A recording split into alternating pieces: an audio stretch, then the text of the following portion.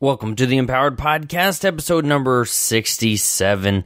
I'm your host, Ellory Wells, and today I have a little tiny short expression of my feelings about all of the passion that has been going on around sports lately. In January, when this is being recorded, we had the very first college football final game and some big, big news there the Dallas Cowboys, they got kicked out of the playoffs. And I want to talk about just some of the passion that people are, are throwing around around these sports teams. And I know this isn't a sports podcast. You know that by now. But I have an interesting take, and I'd love to get your feedback on that. Then I want to talk about no more excuses. But before we get into that, I have to apologize because over the past couple weeks, I've had some issues with my podcast uh, each episode going into iTunes and Stitcher. I don't know what happened, but some episodes got out of order. Some episodes weren't showing up in iTunes. You could listen to them on the page, but they wouldn't download to your phone or they wouldn't stream to your Stitcher app. So I want to apologize for that. I think I have it all fixed out. I, I, I looked in iTunes, I looked in Stitcher just uh, yesterday, I think it was, and you see 65, 64, 63, all in order. They're all playing, and you should be good to go. But I wanted to apologize for that. Just by the way, if you go to empoweredpodcast.com, right there at the top of your page, there's a way to subscribe. And if you get, well, you can subscribe in iTunes, you can subscribe in, in uh, Stitcher, or you can subscribe, and I'll email you a link to every single new episode. So if you had an issue, I apologize. But if you did have that issue, maybe this is a perfect time for you to sign up to receive emails about every new episode. I'll send you all kinds of free stuff too. Uh, I'll send you great information, tools, tips, resources, all those things uh, to make your life easier, especially if you are an online marketer or trying to do an online business. My email list is going to be just absolutely incredible for you because I take all of the information that I get from hours. Well, at this point, it's, it's no longer hours. I can no longer say hours. It's months, if not years worth of research, and I distill it, find the best, and send you via email some of those best resources. So if you go to empoweredpodcast.com, you will see a place to subscribe, Stitcher, iTunes, RSS, or put your email in there. I don't share that with anybody. So let's go right into the episode today.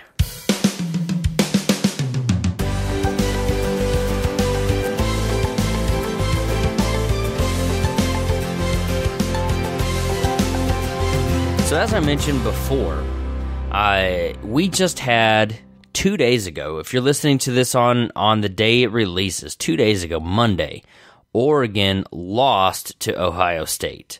The day before that, the Cowboys lost to some other team. I don't even know who it was because I don't care. But here's why this is important to me. This is why it gets on my nerves when people get so obsessed with with sports, whether it's football, basketball, and I love my Baylor football team, but come on, if you here's here's my my passion for this. Now, hopefully, well, you know, this maybe maybe this is the time where where you get a little offended or, or a little bit shaken up if you're a super mega sports fan. If people spend 1%, just, just 1%, one tenth of 10%, 1% of their passion for their sports team, if they redirected 1% of that to their own success, you and I could change the world.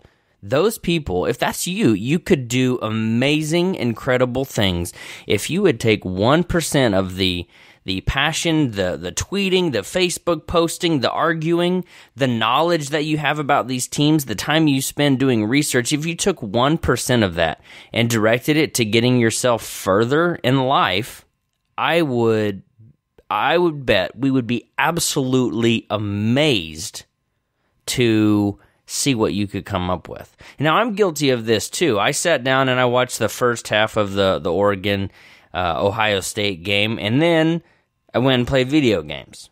So I I'm not completely guilt free about this as uh, at all. But I'm sitting here thinking, I'm scrolling through the Facebook pay, uh, my Facebook feed, and I'm seeing that's a crazy call. Here's the rules. You know, when they're talking about a, a, catch or not catch that one of the Cowboys players made. And then I saw a couple days later, yeah, I've slept on it, but this loss really hurts. Seriously? When was the last time you got this worked up over anything other than a sports team who doesn't even know your name. Now, I apologize. I well, maybe I apologize, maybe I don't. Uh, for this kind of coming off maybe as as this rant, as this anti-sports, anti-passion thing because I, I don't want to offend anybody, but I see these things. People who are are bloggers, podcasters, creators, people who have these entrepreneur visions. People want to create something, you know, make a la- uh, lasting legacy for their for their family, and then every every time it comes up, they say, well, they start just blasting Facebook with their their love and their hatred towards re- uh, referees and their their love towards these football teams. Just Uh, my challenge to you here we are at the beginning of 2015 or, or, whenever you're listening to this maybe down the line in the future. My my request my wish my hope for you as you as you plan out your next 30 days or maybe it's even the next 3 years as, as you're looking at your calendar try to try to find some time to redirect that passion to something that will get you further in life whether it is the online business, whether it's a, a, a career change, a promotion, a raise, or a job change, whatever it is.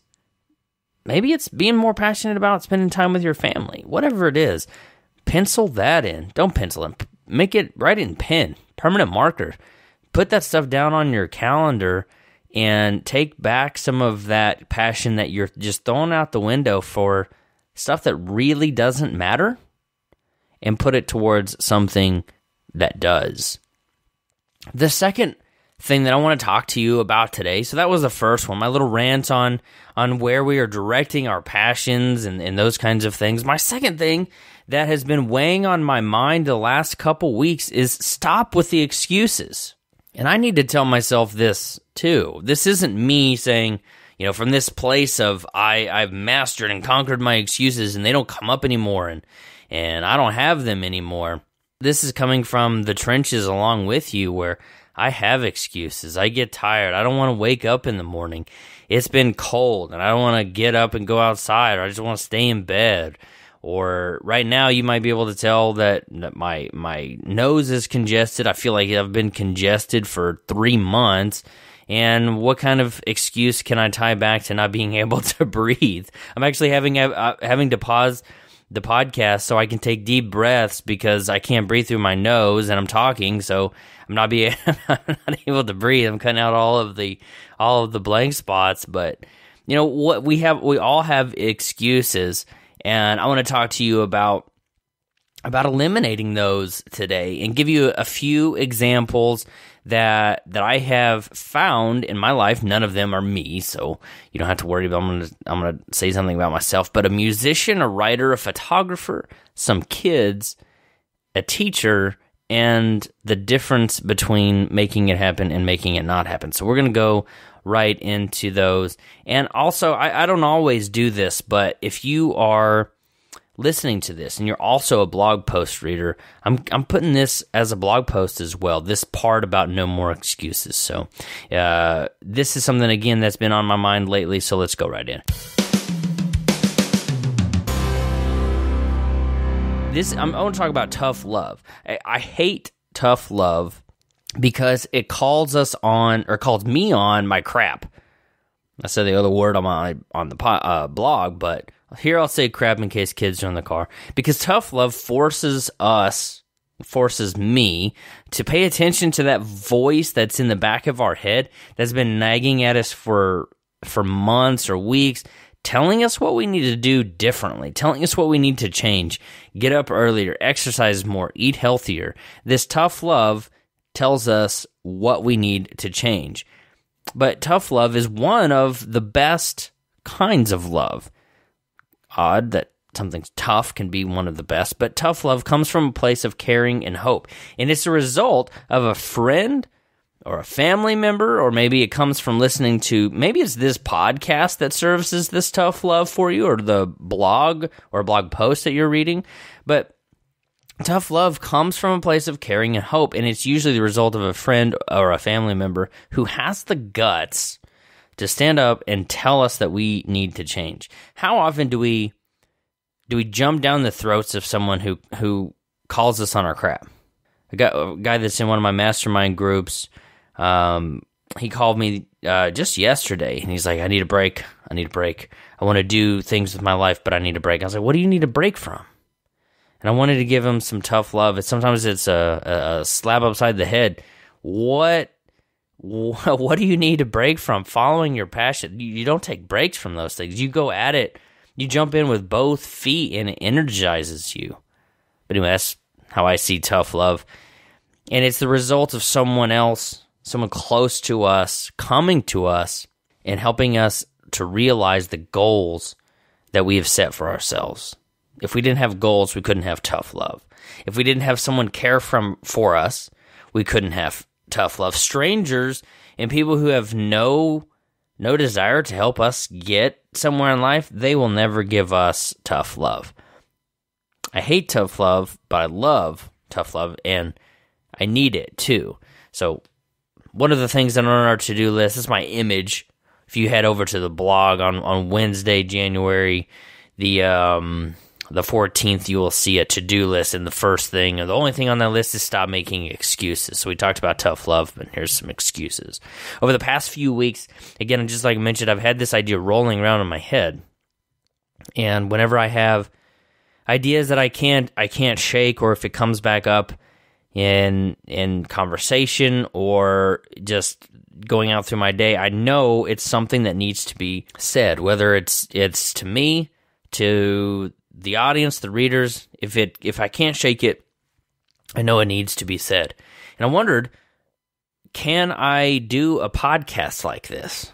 Where it's just me talking about not making excuses. And can I say to you as as someone listening right now can i can i talk about this issue and can i say what i think needs to be said and maybe it's what i need to hear can i say that have i built this platform but i'm going for it because if i didn't i would be letting excuses stop me from making it happen as with any blog post or podcast episode that's been on my mind like i said uh, I believe this one needs to be said. So, no more excuses. You have no more excuses. None. And neither do I. You and I have no reason whatsoever to not pursue what we want to pursue.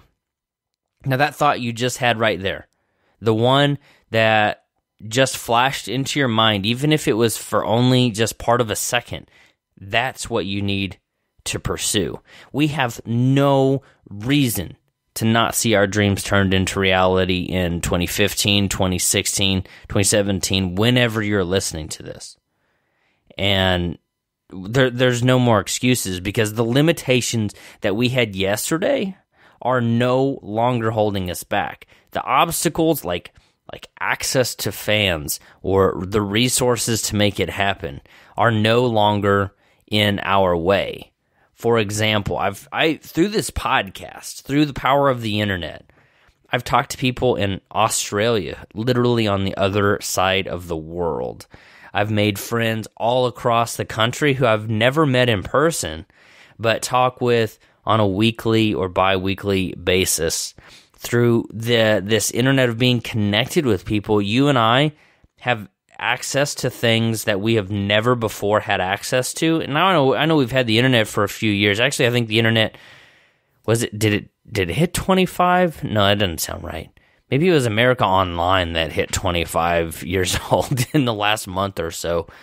But it's it the internet's been around, but no no time before in history have we ever had this much access to one another and the freedom to take our talents, our gifts, our our our passions and put them in front of the people who need to hear them.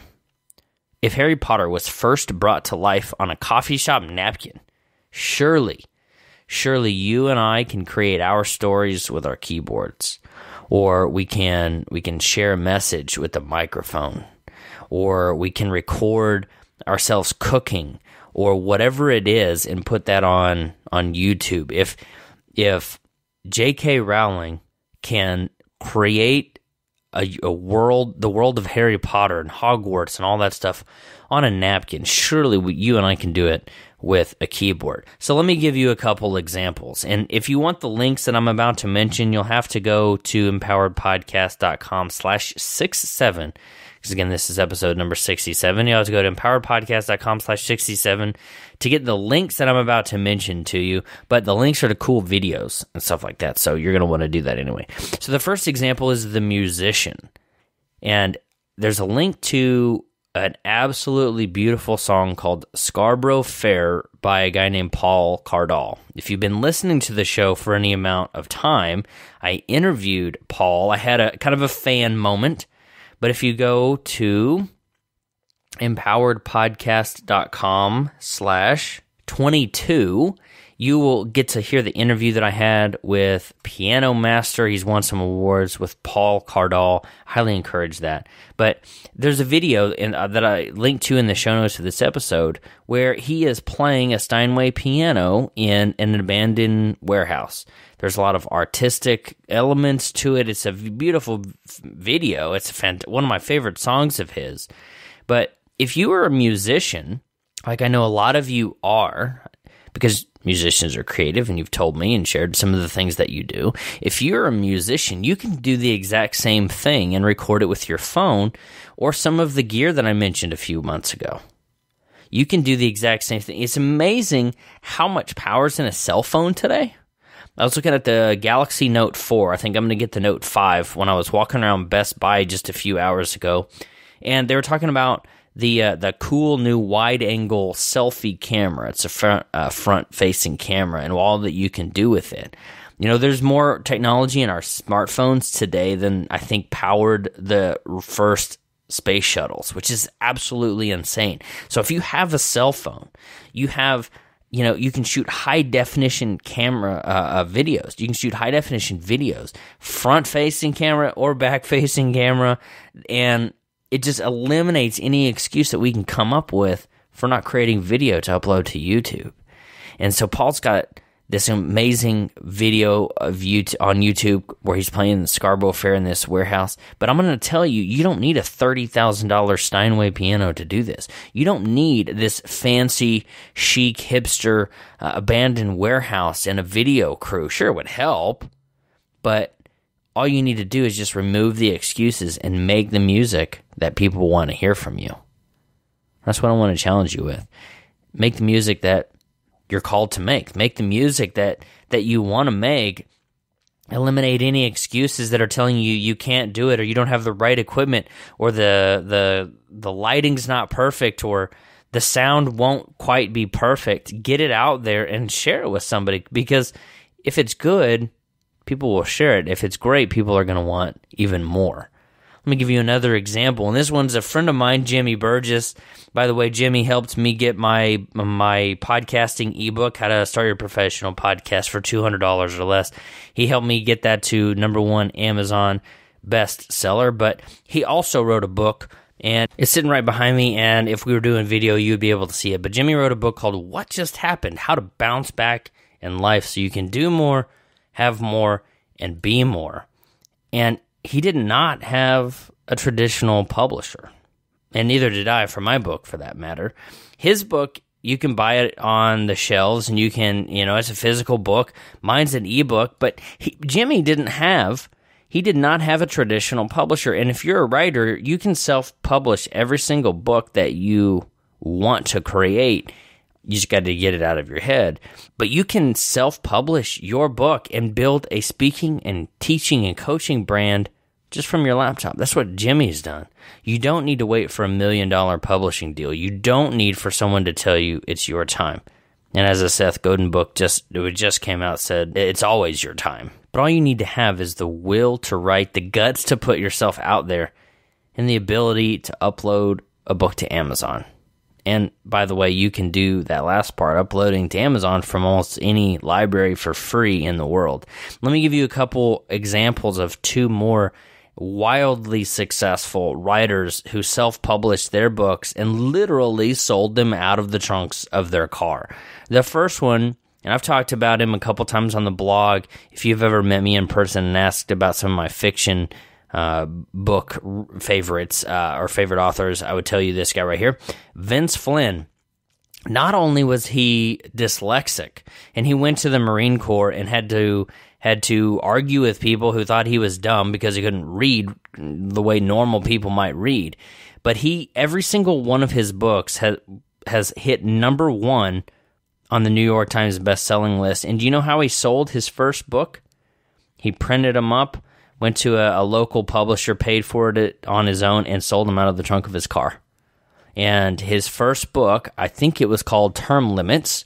Somebody out there checked me on that and, and let me know but he sold that book out of the trunk of his car. Dave Ramsey did the exact same thing. I think it was Total Money Makeover, may, uh, um, maybe. One of his very first books, he sold that self published out of the trunk of his car.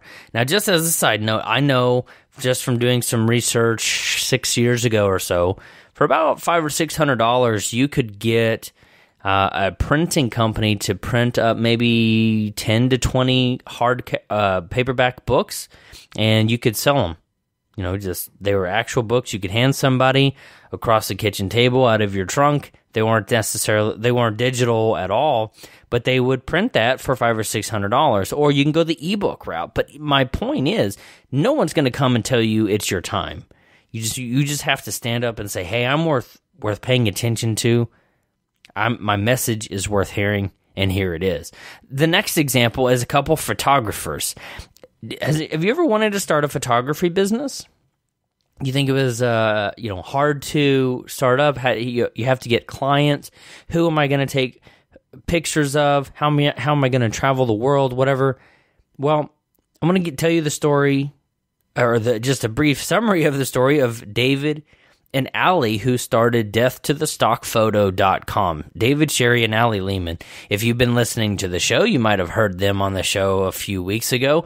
They were actually episode number, oh, let's see, they were, they were episode number 61, empoweredpodcast.com slash 61. They worked for free for six months before they started charging for their images. And when they did charge on launch day, they made, I think it was like $2,500, $3,000. They built up a community. They learned who their target customers were, who was really enjoying their images. And they built a brand focused on adding to, adding value to a community. You'll hear a little bit more uh, about that in that podcast but I interviewed them on, on my show because I wanted to know how you can build a successful business by giving things away for free. So when you're talking about an excuse like, I don't have any customers, I don't have any clients, neither did they.